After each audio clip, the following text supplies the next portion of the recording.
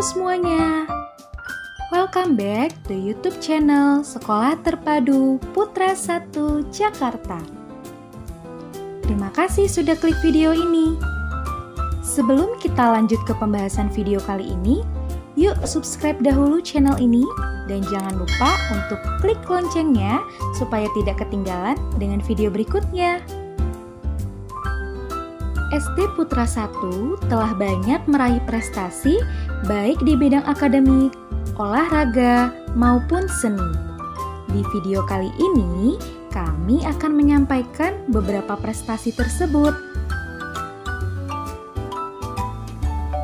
Pertama, prestasi di bidang seni yaitu juara tiga pada ajang Drawing Competition 2019.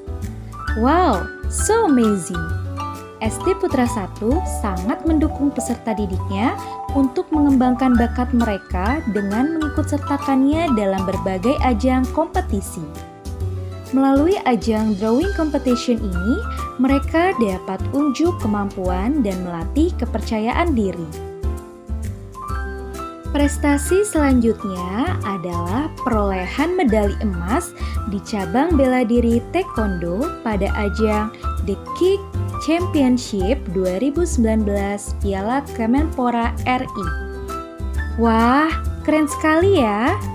Ternyata di SD Putra 1 ada jagoan taekwondo yang mempunyai keberanian dan kemampuan sehingga dapat meraih juara pada kejuaraan Kemenpora RI.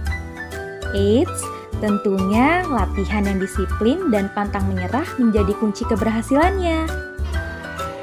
Berikutnya, masih prestasi di bidang olahraga.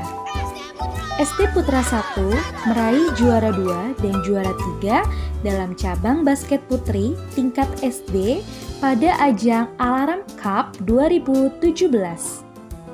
Memang peminat olahraga basket di SD Putra 1 tergolong banyak dan tentu saja prestasinya juga banyak karena mereka aktif dan percaya diri mengikuti berbagai ajang kejuaraan.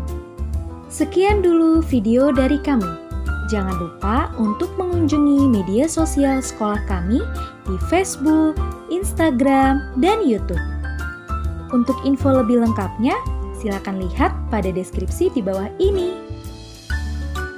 Segera daftarkan putra-putri Bapak Ibu di Sekolah Terpadu Putra 1 Jakarta. Pendaftaran masih dibuka sampai tanggal 31 Mei 2021. Jangan sampai terlewat ya. Terima kasih telah menonton video ini sampai selesai. Sampai bertemu di video berikutnya.